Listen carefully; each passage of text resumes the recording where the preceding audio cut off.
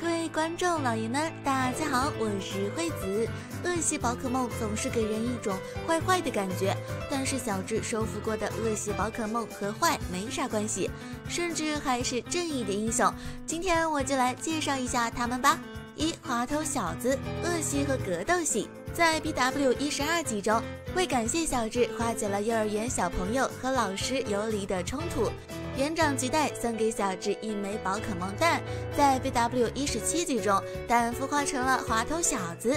因为刚从蛋中孵化不久，所以实力在小智的所有宝可梦中算是最弱的几只，但它却是为数不多技能栏里有超高威力的宝可梦，一百三十威力的飞吸踢和一百二十威力的气核弹。不过，即使学会了，还是很弱小，并且还非常好斗，没事儿就喜欢瞪别人，还会用头去撞其他人。他的那个类似裤子的皮非常结实，能够抵挡伤害。他有一个好哥们儿是爱丽丝的牙牙，因为都是刚出生不久的宝可梦，所以两个小家伙很合得来。二流氓鳄鳄系和地面系。如果说滑头小子还有点好斗，那么小智的流氓鳄和流氓这两字完全不搭边了。他还是黑眼鳄的时候，就是一群野生黑眼鳄的头领。在 BW 第三集中，小智一行人来到了一个温泉度假旅馆，而他们却突然出现，把宝可梦全都掳走。刚开始自然会引起人误会，后来才知道他们这么做是为了提醒人们这里即将崩塌。危机解除后，他开始尾随小智。注意，是尾随，不是被收服了呀。值得一提的是，这只黑眼鳄常常戴着一副墨镜，当墨镜丢失，它就会丧失战斗意志。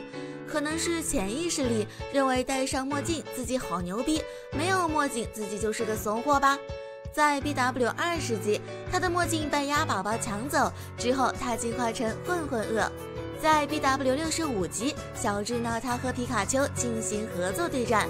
事后，小智邀请他成为自己的伙伴，他很高兴地答应了。在 BW 九十二级，他和爱丽丝的快龙对战，一度被打翻在地，不过后来进化成了流氓鳄，就反杀了快龙。总的来说，他的性格很好，加入小智后作战非常勇敢，算是小智在合众地区的王牌吧。三甲贺忍蛙恶系和水系。没想到吧，甲贺忍蛙的的确确是有恶系的，但是小智的甲贺忍蛙却不会任何恶系招式。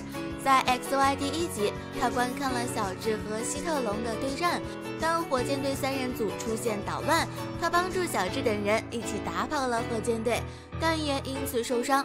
于是小智将其送到研究所治疗。后来小智得知呱呱泡蛙之前的训练家都被他抛弃了。但是他和小智却意外的合得来，在之后解救烈咬陆鲨中，两人建立起深厚的友谊。于是呱呱泡蛙主动跟随小智，在 X Y 五十二集，小智和呱呱泡蛙进行忍术修行途中，呱呱泡蛙进化成了瓜头蛙。X Y 九十九集中，瓜头蛙进化成了甲贺忍蛙，并首次羁绊进化。在 X Y 一百二十一集中，甲贺忍蛙掌握了变身能力，帮助小智拿下冰山徽章。在联盟比赛中，虽然他击败了新手祥太的 Mega 蜥蜴王，但是却没有战胜宿敌 Mega 喷火龙 X，这是他第三次输，也让小智止步亚军。在 X Y 一百三十八集中，因为只有甲贺忍蛙能够看出卡洛斯地区的负能量核心。于是基格尔德便希望借助他的力量铲除这些负能量，于是甲和忍蛙就留在了卡洛斯看书啦。